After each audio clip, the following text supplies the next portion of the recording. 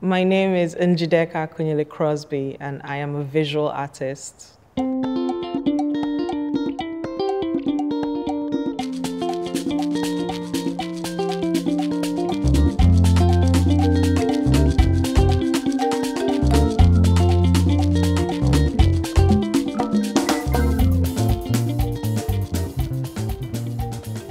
My dad always had um, always bought Time magazine and Newsweek, and I just remember I would flip through it, and if I found an image I liked, I'll get a piece of paper and some charcoal, and I'll make a copy of it. So the interest in drawing has always been there. I was a biology major at Swarthmore, and by my senior year, I had taken so many art classes.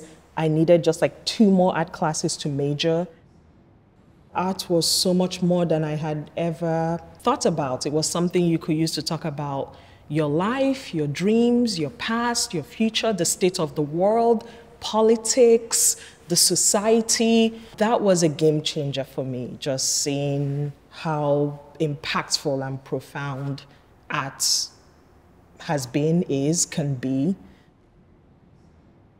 I still wasn't sure if I wanted to be an artist because I had wanted to be a doctor for so long. Even though I didn't want to be an artist, I really enjoyed doing it. It was the one thing like when I did Time Could Vanish.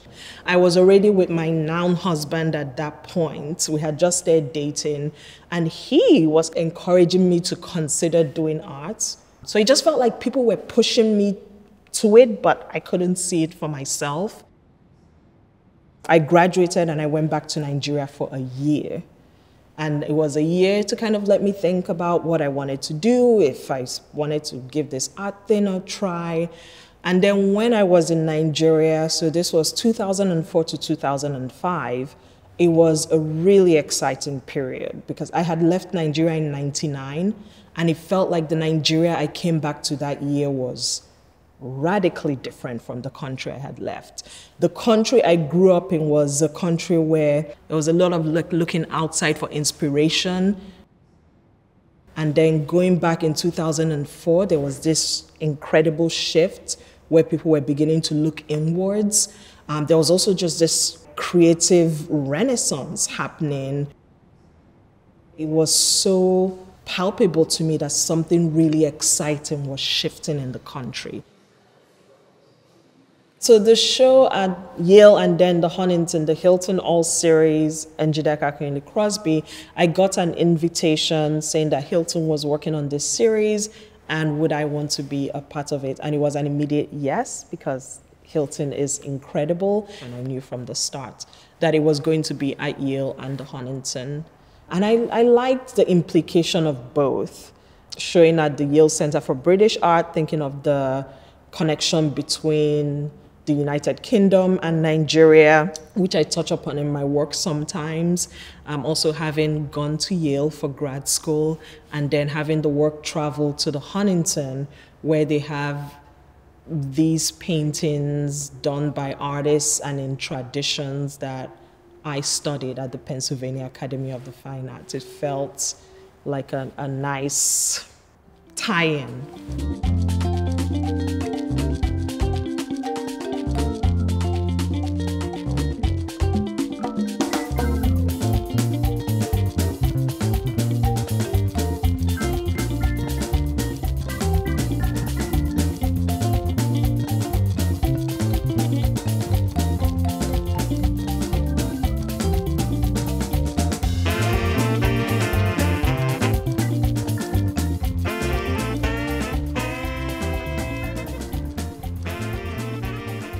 I've always been slow with my production, but I've become even slower since I had kids.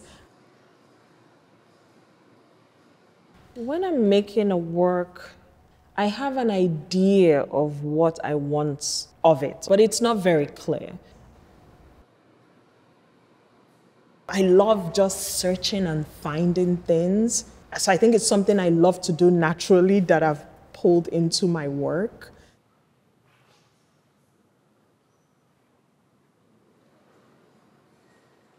So it's not the making of it that takes time. It's trying to find the plant that goes in front of the two figures. Looking at thousands of plants, I didn't find anything online. Going to Huntington, walking around to get the right plants.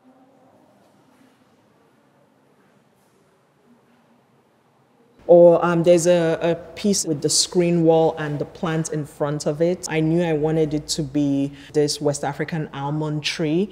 I reached out to an artist friend of mine in Nigeria who connected me with a photographer, and he ended up sending about 1,300 pictures of fruit trees before I like found I was like, okay, this is the one I want. By the time I got the plant itself, it took like two days to draw it, but it took about three months to get the fruit tree that I wanted. For me, the work is in the process.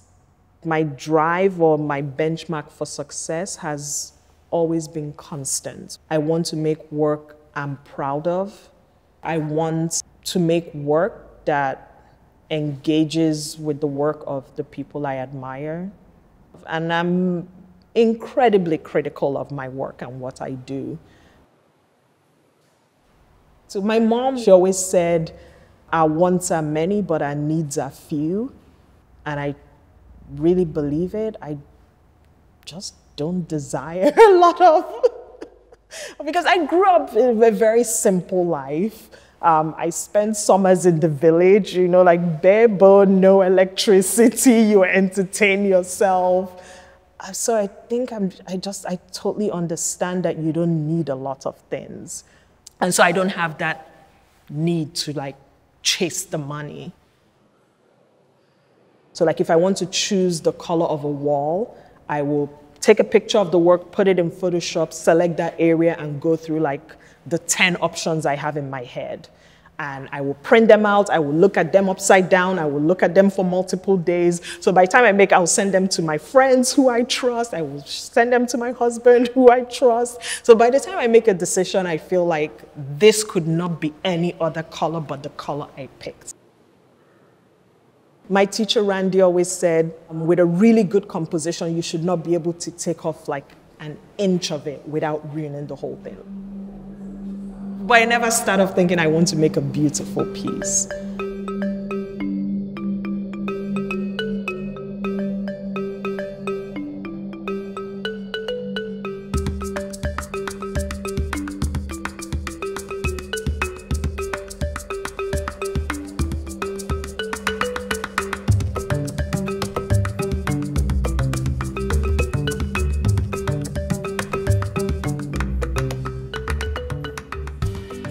So within the work, the images I transfer, some of them come from my family photos. Some of them are photos from my family from when my parents were young, from when my siblings and I were young, but also starting in about 2009. Every time I went back to Nigeria, I'll take my camera and I'll just take a ton of pictures.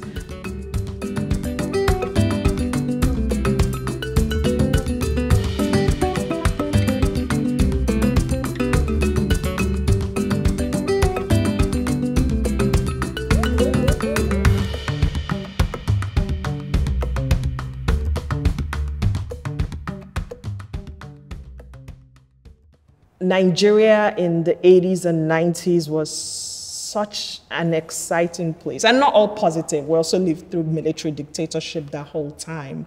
Um, but it was a time where there's like really strong shared, like a memory, especially around cultural things, because we had just one TV station and it ran from five till eight. So everybody in the country watched the same TV. So it's like there's something very entertaining about tapping into those shared memories.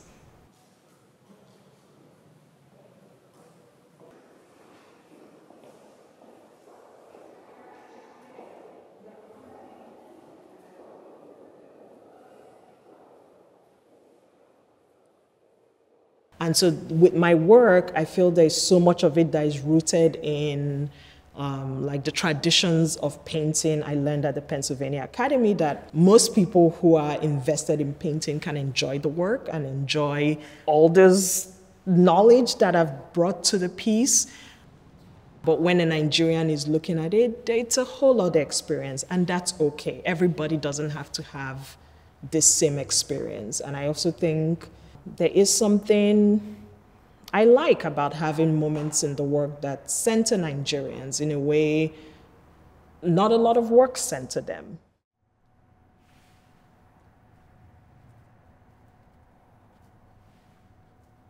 This is a piece that just got started a couple weeks ago. Um, so it's a plant piece. So this is a silhouette of two plants superimposed on each other and all the negative spaces are taped off. And within the silhouette of the two plants together is going to be a transferred picture of um, me with my sister, the one who is just a little over a year older than me, and this person who is from a Vlisco ad. And so when I went to graduate school, when this work really got developed, I mean, I knew the tradition I studied would always be a part of me, but I was also looking for a way to signal a difference from it. And working on paper was such a small move I felt could do that. So I love that the work exists between printmaking, drawing, um, collage, and painting. And that for me undergirds a bigger theme of the work, which is this like thinking of my life and making references to growing up in a town, spending a lot of time in the village with my grandmother, going to boarding school in a big city of Lagos, and then moving to the United States after when I was 16, and trying to touch up on all those different places in the work, and thinking of myself as somebody who is a hybrid of all that. And with the clips, I don't want this to feel too precious. I want people to feel they can really come up close to it and really move across the, the page. Thinking of this like cultural renaissance that has been happening for over a decade now, and this looking inward and almost like a reset of Nigerian mindsets from this like post-colonial mentality of what we have is not enough, which is what my parents were raised in. And in that generation, there was so much of shame around cultural things. Like people stopped teaching their children the languages because people genuinely felt like speaking Igbo makes your kids dumb. Like that's what being colonized does to you.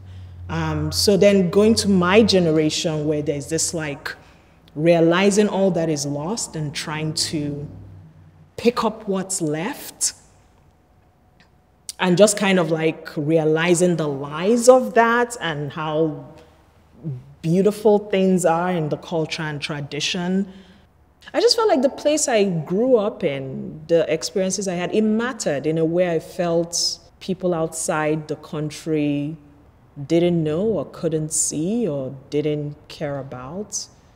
I wanted to make work that showed like you know, we're, we're known for the, the, a lot of the negative things, but there is a lot of beauty and coolness here mixed with the many negative things. But also, it's just like, um, it matters. Our lives mattered, our history, our loves, loss, all of it. it. It matters, and I wanted to capture it in my work.